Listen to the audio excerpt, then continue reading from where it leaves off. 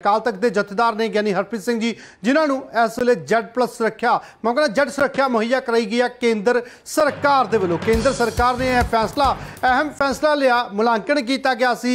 ਇਹਨਾਂ ਦੀ ਸੁਰੱਖਿਆ ਦਾ ਜਿਸ ਤੋਂ ਬਾਅਦ ਫਿਲਹਾਲ ਦੱਸਿਆ ਜਾ ਰਿਹਾ ਹੈ ਕਿ ਇਹਨਾਂ ਨੂੰ Z+ ਸੁਰੱਖਿਆ ਦੇਣ ਦੀ ਖਬਰ ਨਿਕਲ ਕੇ ਸਾਹਮਣੇ ਆ ਰਹੀ ਹੈ। ਇਸ ਸੰਬੰਧ 'ਚ ਗਿਆਨੀ ਹਰਪ੍ਰੀਤ ਸਿੰਘ ਦਾ ਜੋ ਬਿਆਨ ਸਾਹਮਣੇ ਆਇਆ ਫਿਲਹਾਲ, ਉਹਨਾਂ ਨੇ ਖੁਦ ਇਸ ਮਾਮਲੇ 'ਚ ਕੁਝ ਨਹੀਂ ਕਿਹਾ, ਪਰ ਜੋ ਜਾਣਕਾਰੀ ਮਿਲ ਰਹੀ ਹੈ ਕਿ ਉਹਨਾਂ ਦਾ ਕਹਿਣਾ ਹੈ ਕਿ ਮੈਂ ਸੁਰੱਖਿਆ ਦੀ ਮੰਗ ਨਹੀਂ ਕੀਤੀ ਸੀ। ਪੰਜਾਬ ਸਰਕਾਰ ਨੇ ਜਦੋਂ ਮੇਰੀ ਸੁਰੱਖਿਆ ਵਾਪਸ ਲਈ ਤਾਂ ਮੈਂ ਉਹ ਸੁਰੱਖਿਆ ਜੋ ਖਿਹੜੇ ਮੱਥੇ ਪ੍ਰਵਾਨ ਕੀਤੀ ਸੀ, ਜੋ ਵਾਪਸ ਲੈ ਲਈ ਸੀ ਮੈਂ ਕਹਿਤਾ ਸੀ ਕਿ ਮੈਨੂੰ ਬਾਕੀ ਦੀ ਵੀ ਸੁਰੱਖਿਆ ਦੀ ਲੋੜ ਨਹੀਂ ਹੈ। ਮੈਂ ਆਪਣੇ ਪੱਧਰ ਦੇ ਉੱਤੇ ਇਸ ਦਾ ਪ੍ਰਬੰਧ ਕਰ ਲਵਾਂਗੇ, ਜਿਸ ਤੋਂ ਬਾਅਦ ਹੁਣ ਜੱਡ ਸਿਕਿਉਰਿਟੀ ਕੇਂਦਰ ਸਰਕਾਰ ਦੇ ਵੱਲੋਂ ਦਿੱਤੀ ਗਈ ਹੈ। ਇਸ ਮਾਮਲੇ ਤੇ ਹੋਰ ਗੱਲਬਾਤ ਕਰਾਂਗੇ। ਮੇਰੇ ਨਾਲ ਮੇਰੇ ਸਹਿਯੋਗੀ ਰਮਨ ਜੁੜ ਚੁੱਕੇ ਨੇ। ਰਮਨ ਸੋਢੀ ਰਮਨ, ਕਿੱਦਾਂ ਦੇਖਦੇ ਹੋ ਪੂਰੇ ਦਾ ਪੂਰਾ ਮਾਮਲਾ ਜੋ ਹੁਣ ਜੱਡ ਸੁਰੱਖਿਆ ਕੇਂਦਰ ਸਰਕਾਰ ਦੇ ਵੱਲੋਂ ਉਪਲਬਧ ਕਰਾਈ ਗਈ ਹੈ?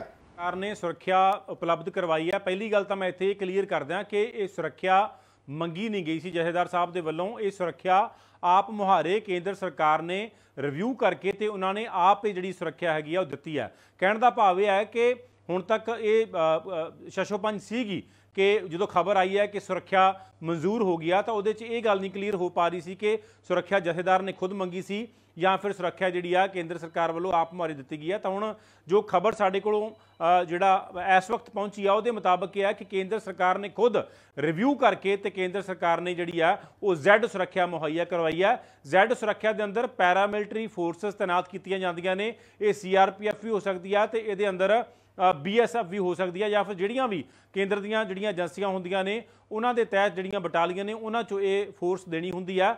ਪੰਜਾਬ ਦੀ ਪੁਲਿਸ ਵੀ ਇਹਦੇ ਨਾਲ ਤਾਇਨਾਤ ਰਹਿੰਦੀ ਆ। ਮੇਰਾ ਖਿਆਲ 50-50 ਦੀ ਰੇਸ਼ੋ ਰਹਿੰਦੀ ਆ ਔਰ 20 ਤੋਂ ਉੱਪਰ ਤੇ 30 ਤੋਂ ਘੱਟ ਜਿਹੜੇ ਕਰਮਚਾਰੀ ਨੇ, ਉਹ ਜ਼ੈਡ ਸਿਕਿਉਰਿਟੀ ਦੇ ਵਿੱਚ ਤਾਇਨਾਤ ਰਹਿੰਦੇ ਨੇ। ਹੁਣ ਚਰਚਾ ਕਰਨ ਦੀ ਇਹ ਲੋੜ ਹੈਗੀ ਆ ਕਿ ਪੰਜਾਬ ਸਰਕਾਰ ਸੁਰੱਖਿਆ 'ਚ ਕਟੌਤੀ ਕਰਦੀ ਹੈ ਤੇ ਕੇਂਦਰ ਦੀ ਸਰਕਾਰ ਸੁਰੱਖਿਆ ਦੇ ਰਹੀ ਹੈ ਪਹਿਲੀ ਗੱਲ ਤਾਂ ਇਹ ਹੈ ਕਿ ਪੰਜਾਬ ਸਰਕਾਰ ਤੇ ਇਹ ਬਹੁਤ ਵੱਡਾ ਸਵਾਲ ਖੜਾ ਹੁੰਦਾ ਪੰਜਾਬ ਸਰਕਾਰ ਦੀ ਇਸ ਮਾਮਲੇ 'ਚ ਬਹੁਤ ਵੱਡੀ ਕਿਰਕਰੀ ਹੁੰਦੀ ਹੈ ਕਿ ਕੇਂਦਰ ਖੁਦ ਦਖਲ ਦੇ ਕੇ ਤੇ ਪੰਜਾਬ 'ਚ ਸੁਰੱਖਿਆ ਮੁਹੱਈਆ ਕਰਵਾ ਰਿਹਾ ਇਹਦਾ ਮਤਲਬ ਇਹ ਹੈ ਕਿ ਕੇਂਦਰ ਨੂੰ ਕੋਈ ਨਾ ਕੋਈ ਖਤਰਾ ਲਾਜ਼ਮੀ ਤੌਰ ਤੇ ਲੱਗਦਾ ਹੈ। ਇੱਥੇ ਕਨਫਲਿਕਟ ਇਸ ਗੱਲ ਦਾ ਵੀ ਪੈਦਾ ਹੁੰਦਾ ਹੈ ਅਰੁਣ ਕਿ ਪੰਜਾਬ ਸਰਕਾਰ ਬੜਾ ਸੁਖਾਲੇ ਜੀ ਸਿਕਿਉਰਿਟੀ ਘਟਾ ਦਿੰਦੀ ਹੈ।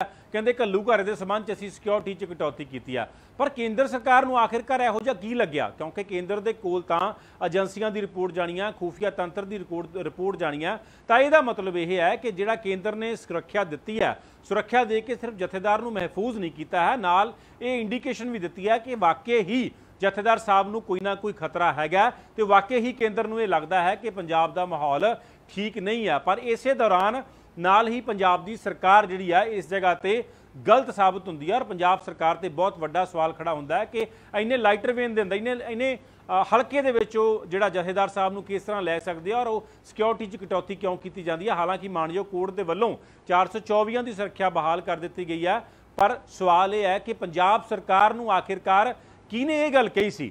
ਕਿ ਦੇ ਕਹਿਣ ਤੇ ਸੁਰੱਖਿਆ 'ਚ ਕਟੌਤੀ ਕੀਤੀ ਗਈ ਸੀ? ਕਿਹਨੇ ਇਸ ਨੂੰ ਰਿਵਿਊ ਕੀਤਾ ਸੀ?